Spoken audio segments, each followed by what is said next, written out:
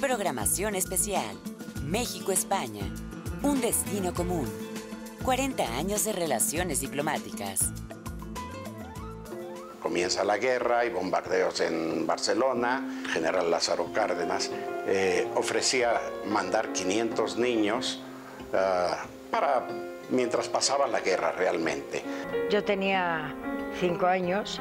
Recuerdo con más emociones la salida de España. Los niños de Morelia. Lunes 3 de abril, 20 horas.